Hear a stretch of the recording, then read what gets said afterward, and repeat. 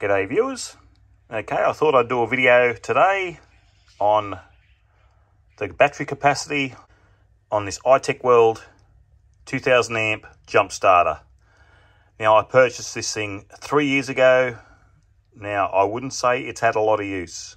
It has jump started a couple of cars, but then also it has failed a couple of times. And I can tell you when the battery is absolutely dead in a vehicle, this will not work. It works only if there's a bit of power in the battery, so where the stage where your engine, it sort of, it clicks or just winds over, it goes, mwah, mwah. You put this on and it helps, but from a dead battery, it does not help. I've not had any luck in the last year or so. When this was new, it worked fine, doing a six cylinder Falcon the battery was flat on. There was no problem at all. But yeah, I've sort of lost faith in this thing. But anyway, I thought I'd do a battery capacity test. I'll turn it on to show you it's charged. I'll just turn the light out. Okay, that might be a bit better. So you can see it's 100% charged. I've got my battery capacity tester hooked up. I'm going to drain one amp.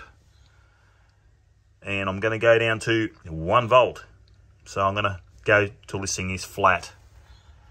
So I'm going to flatten this thing right out. Okay. We'll start the test. Then we'll see how much capacity this iTech World 2000 amp jump starter has.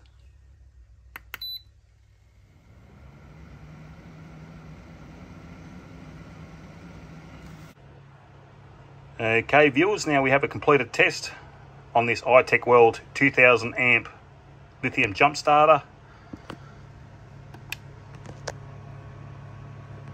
You see that's 0%, so that's flat.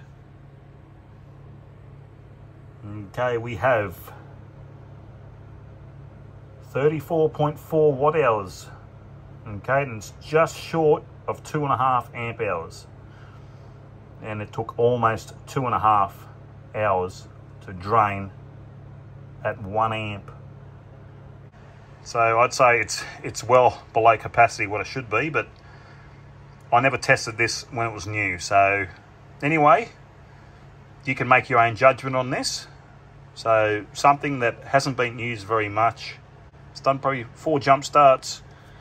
It's had a couple of failed jump starts and it's run a few powered devices. Charged the phone a few times.